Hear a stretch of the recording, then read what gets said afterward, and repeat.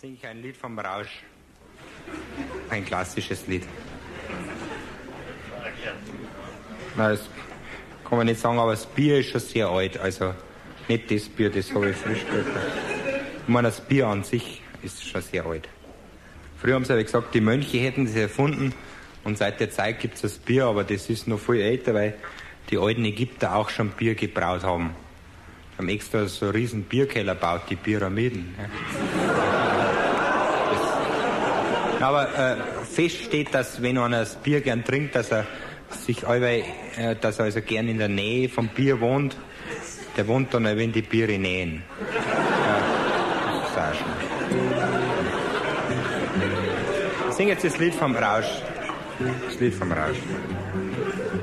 Und es gibt ja Leute, die zahlen das Bier gleich bar, das sind die Barbiere. Ne?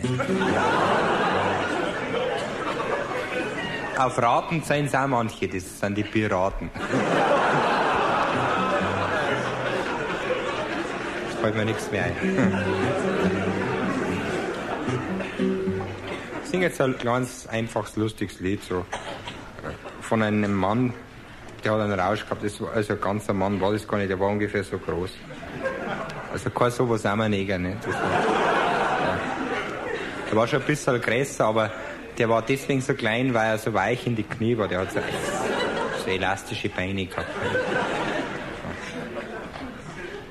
Und das hat er seinem Zustand verdankt. Wenn nämlich einer so viel Bier trinkt, dass er gar nicht mehr gerade stehen kann, also Bürokrat.